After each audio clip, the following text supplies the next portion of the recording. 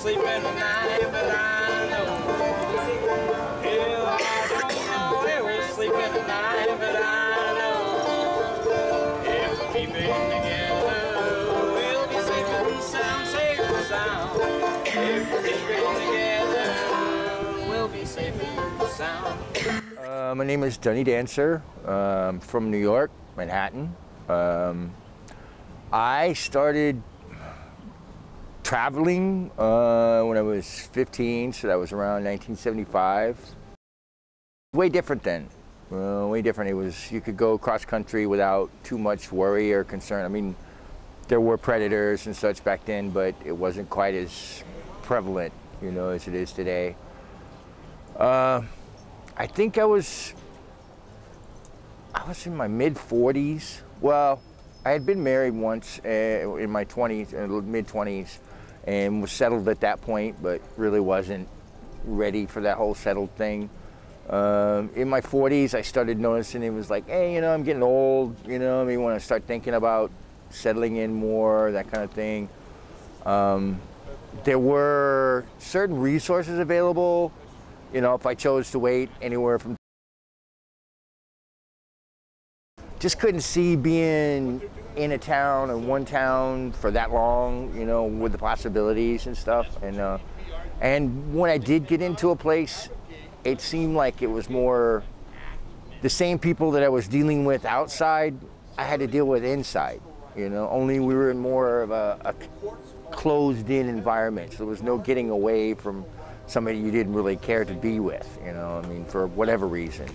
Um, and then as it progressed, as I got older and stuff, I started noticing the programs that were there were no longer really functioning. I mean, they were still had people working and still doing stuff, but there was no list anymore. You know, everything had been closed, and, and there was the attitude towards homelessness had changed. You know, the generations had changed. Um, yeah, and I started realizing it's like, no, I mean, everywhere I went, we were considered illegal, you know, because we were homeless, you know. I mean, so we were automatically criminals just for wearing a backpack or, or sleeping on the sidewalk, you know. And I didn't feel that was right. I mean, this is America, you know. I mean, I'm not homeless because I'm in America, and that's my home, you know. Maybe houseless, you know, but I don't really know that I want a house, you know.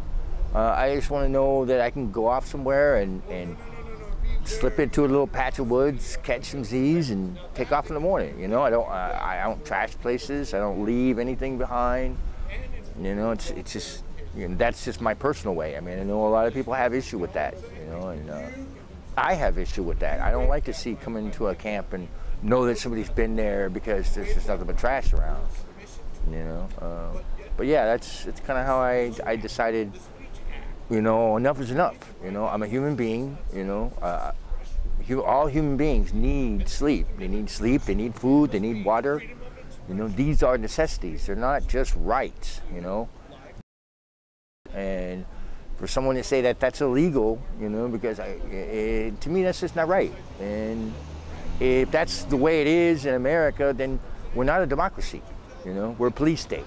You know, and I want people to recognize that back back in uh, I guess it was uh, there was a uh, women's advocacy for medical marijuana. Uh, they had a uh, uh, the DEA come in and, and bust one of their their growers. Now, well documented, had all his paperwork and all, busted him, took everything. Right, they took it to court and won. You know, the city of San Francisco had to give a pretty big stipends, and they were also under a condition. They couldn't support or give information to DEA. You know, it was like, no, no, this is city thing. This is, you know, city state thing. They have nothing to do with it, and they need to stay out of it. You know, uh, they agreed, and it was all handled.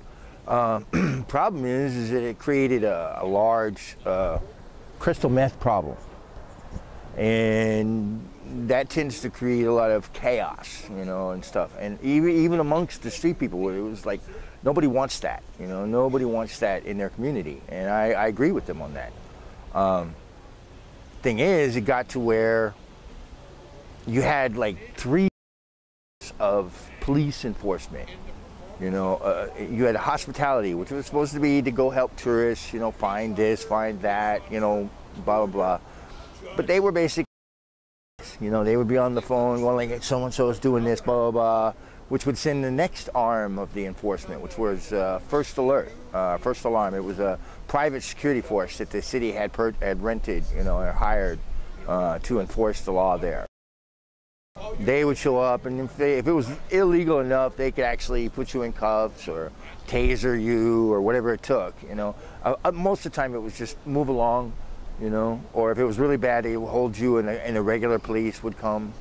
Um, and yeah, it got to a point, you know, I mean, you, you, couldn't smoke here, you couldn't smoke there. I mean, eat cigarettes, you know. I mean, I, am cool with some of that. I, I do smoke myself. I'm cool with some of that because there are the people, you know, and, and, I respect that. You know, I respect their wishes too to, to, to, be free of that, you know, when they walk down the street.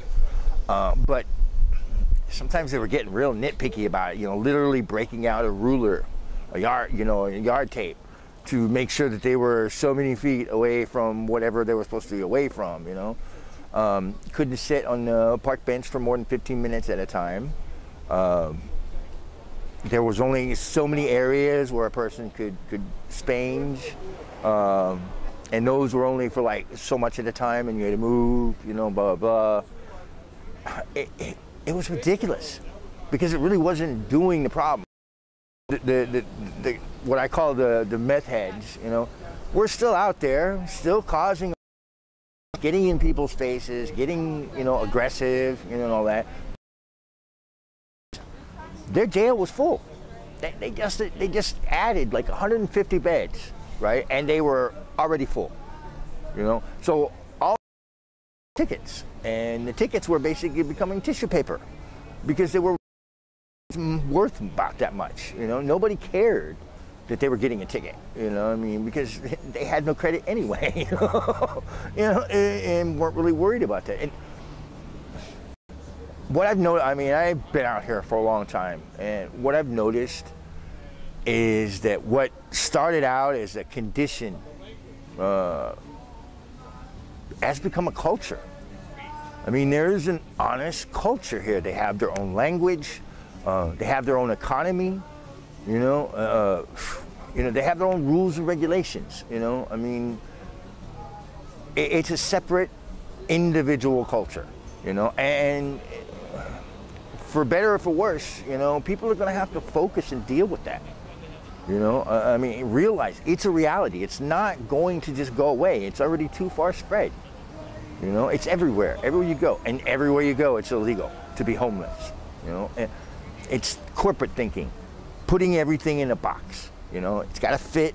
You know, or else it doesn't belong. You know, and that's the problem. It's you you stick people in a box, it doesn't fit because it's life.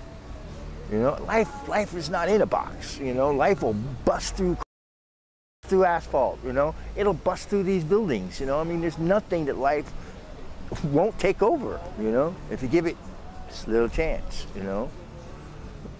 Um, and yeah, again, that was why I came down to it. People just have to admit that there's more than one situation. You know, you talk about a drug problem. Okay, yeah, which drug problem? You know, which one? because each one is a unique and individual problem. You know, uh, the homeless problem. Okay, yeah, there's a lot of people who are homeless. quite a few not by choice. You know, quite a few would be more than happy to, to be in a shelter in a place where they could just close the door to get away from the world for a while. Others, they don't want that. Don't want it. You know, uh, just as soon you you know you can do whatever you want with it, but don't give it to me you know, and people are going to have to deal with that, you know, because they're not going anywhere. I wish more respect for both sides, from both sides. Um, you know, I, I party. You know, I don't know. In fact, I don't really know anybody that doesn't. You know, but I, I try to do it in a way of like, if I know I just really want to get, you know, out of there, you know, I go somewhere away. You know, I, I, I don't want to be crowded with a bunch of people that I don't know and all that noises that I don't like. You know, I mean, I'm gonna go somewhere off into you know some park somewhere way out, you know, and do it, you know, just sit there and do it, you know. And then when I'm more in my own aware, you know, yeah, then I come back. It's the disrespect that I have a problem with, you know. I mean, yelling and screaming for no reason and just to make noise, you know.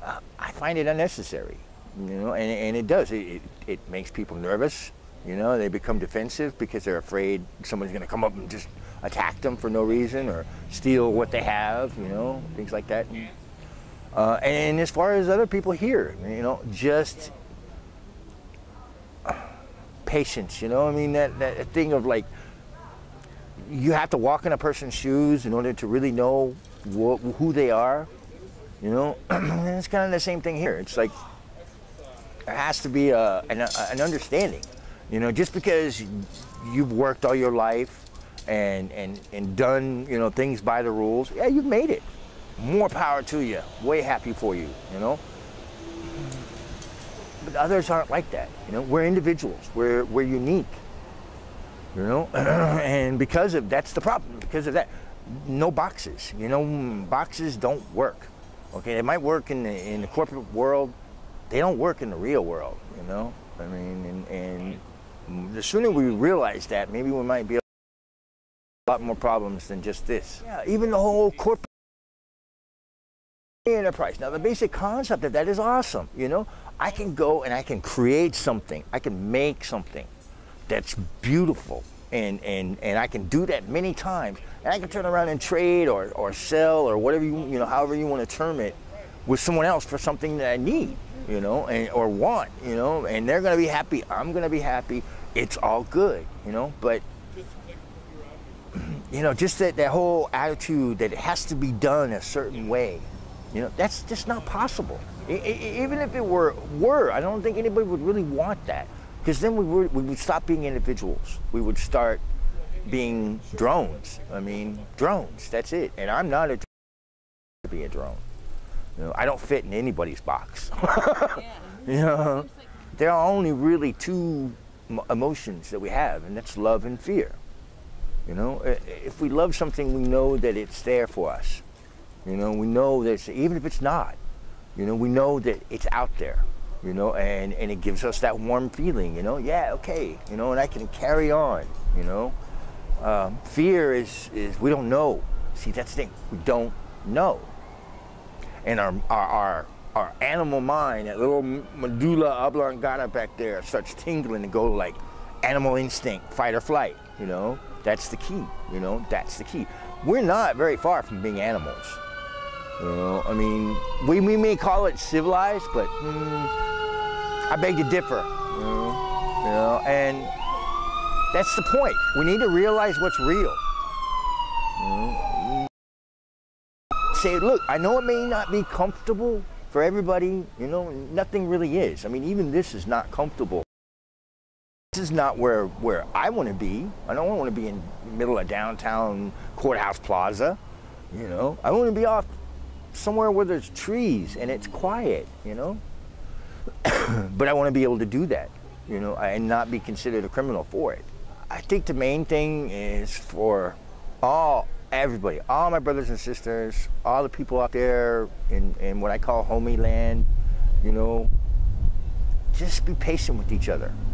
You know, a little bit, a little bit go a long way. A little bit of civility, you know, the old school, like, good morning, you know, how are you doing? You know, those little things, man, really lighten people's days. You know, it, it sounds corny, it sounds cliche, but it's true. it's true, it works, you know, I mean, and if we could just, you know, everybody, I mean, everybody, just take that. I, stop take a deep breath. Then say hello to somebody you don't know. You know? That's it. If you can do that, we'd have half this problem licked because we understand we're not different. We're, we are, and we're unique, but we're from the same being. We're the same species, you know? I mean, let's at least treat each other like we're from the same species. You know, that's all I'm saying. You know, oh,